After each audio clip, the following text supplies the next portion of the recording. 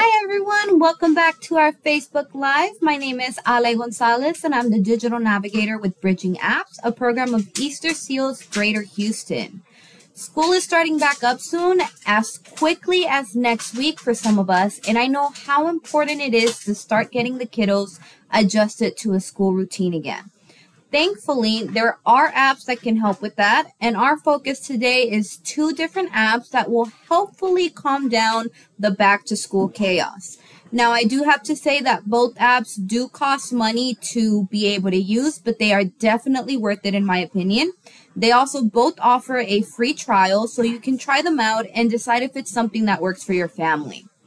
Let me go ahead and share my screen so you guys can see the two apps that we will be talking about today.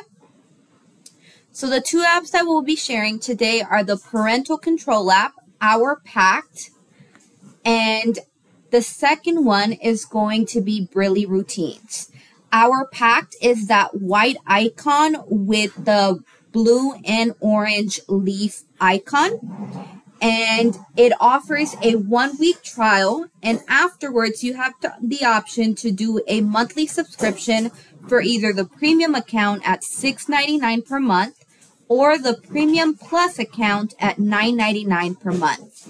The only difference besides the price is that the premium plus account automates screenshots of your child's device so you never have to worry about what they're doing on it. Our Pact is a family locator and parental control app that allows you to set schedules and limit screen time by blocking internet and app access. It's a great tool to use during the school year when it's important to focus on schoolwork and activities with the, without the distraction of your child's phone or social media. So when you go ahead and open the app, it looks like this. You do have to pair your child's device. So it's actually two apps that you would be downloading. So the parent app, like I said, that one is called Parental Control App, Our Pact. And then the app that you would download on your child's device to be able to pair it would be Our Pact Junior. And once you go ahead and pair up the device, you can start setting up a schedule. So at what time is bedtime? What time is homework time. If they do sports, then how many hours are they going to be practicing either during the week or on weekends for that particular sport. And that's kind of going to be your home, your home page. When they open up their, uh, responding app, they'll be able to see that schedule there. You can then also set up app rules. So for all of the apps that they have on their device, you can either block them by using that, by tapping on that icon that looks like a circle with the line uh, straight across. And then that means that your child will not have access to that particular app on their phone. So if they try to open it, they're going to be completely blocked off to it. You can also put a uh, screen limit on that particular app and you get to decide how long you want them to be using that app for per day. So like maybe 30 minutes or an hour. And then if you want them to have unlimited access to this app, so like for example, maybe Spotify because music helps them focus, then you can just go ahead and click on that check mark. And at any point, if let's say they run out of screen time and they want to open up an app, it will actually notify you on the app whether you want to block their access or allow it. Same thing with this allowance. So this is kind of goes with that screen time.